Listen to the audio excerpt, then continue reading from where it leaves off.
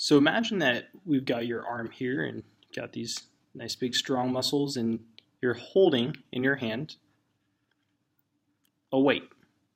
So let's say that you're holding a two pound weight. Okay, so here's a two pound weight. And let's say that you're holding it in your hand and you want to lift it up. So as you lift this two pound weight, you kind of notice that there's some resistance and you, you definitely are able to notice that there's a weight in your hand. So let's say that we took this weight and you didn't know, let's say I grabbed the weight out of your hand and I replaced it with another weight that was 2.05 pounds. So I've got this 2.05 pound weight. And it's the same exact shape and everything, and it's just 0.05 pounds heavier. And let's say that we replaced this guy with with the 2.05 pound weight. And let's say that I asked you to lift this new 2.05 pound weight. And you might lift it and you may notice that it's different, but most people in general would not notice any difference. They would just think it's the same exact two pound weight. So basically, what I'm trying to say is that this 0.05 uh, pound increase in the weight for most people probably would not be noticeable. So let's say that instead of uh, giving you a 2.05 pound weight, let's say that I gave you a weight that was 2.2 pounds. And let's say you close your eyes and I took this two pound weight out of your hand and I replaced it with this new 2.2 pound weight. So, and then I asked you to lift the new weight. You, most people would probably notice this new increase, this new weight. And so basically what I'm trying to say is that a addition of 0.05 pounds probably wouldn't get noticed, whereas an addition of 0.2 pounds would get noticed.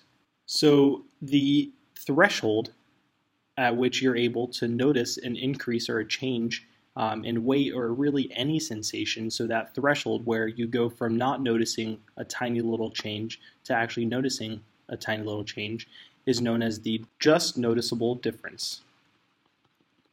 Noticeable difference. So we can abbreviate this as JND. So in this case, the just noticeable difference, let's say for just sake of argument, is 0.2 pounds.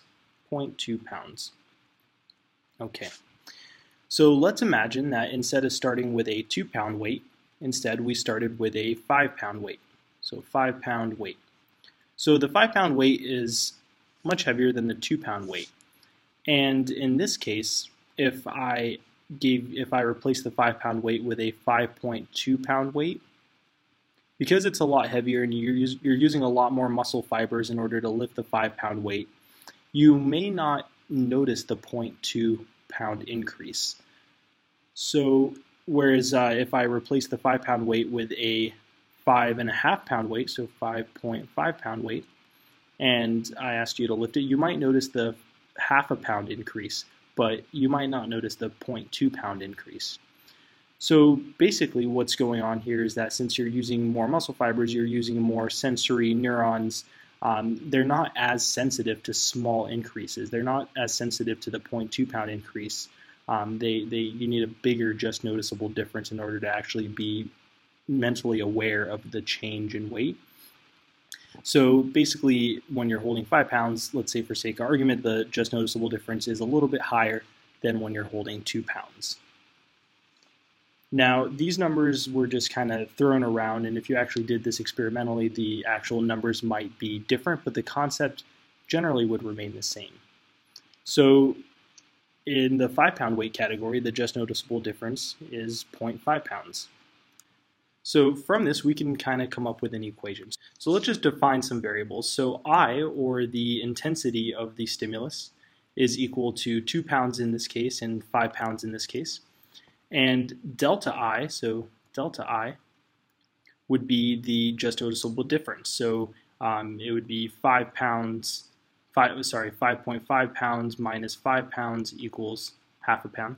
So for the 5 pound example, I would be 5 and delta I would be 0.5. And then in the 2 pound example, I would be 2 and delta I would be 0.2. So basically, there's actually a guy back in the day named Weber. So Weber noticed in 1834 that the ratio of the increment threshold, so the ratio of the increment threshold, which is this over here, to the background intensity, which is this over here, so this is the background intensity, is constant. So if we were to take 0.2 divided by 2, and if we were to take 0.5 divided by 5, this ratio is actually equal, and it equals 0.1. And this ratio would be more or less fairly constant for a bunch of different weights. And so that's what Weber's law is. So Weber in 1834 realized that there was this relationship. So we can write this as an equation. So delta I over I equals K. And so K is a constant for each individual person. There's this particular threshold, and the ratio of the background intensity to the incremental threshold is relatively constant, and that constant is this K value. So this part of the equation over here is known as the Weber fraction. So this works for sensory tactile stimuli like lifting a weight, but you could it also works for auditory stimuli. So imagine you're in a quiet room. If you're in a quiet room with someone else, you can whisper, you can talk really, really softly and the person can hear you. But if you're at a rock concert, you have to be yelling at the top of your lungs in order for someone next to you to hear you. And that's because the background intensity in a quiet room versus a concert is different. And so the delta I, which is whether you're just whispering or whether you're yelling, is different in accordance with the background intensity. And so that's what the Weber Weber's law is basically saying. So if we take this equation over here, let me just give myself a little bit of space. So if we take this equation, Weber's Weber's law, and rearrange it, so we have delta I equals the background intensity times this constant. If we arrange it, we can see that this Weber's law predicts a linear relationship between the incremental threshold, which is this value over here, and the background intensity. In other words, as the background intensity gets bigger, the incremental threshold gets bigger.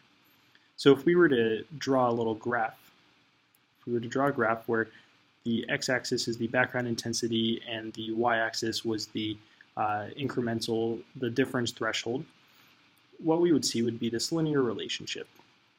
So using the, the concert example over here, a really, really big background intensity would result in a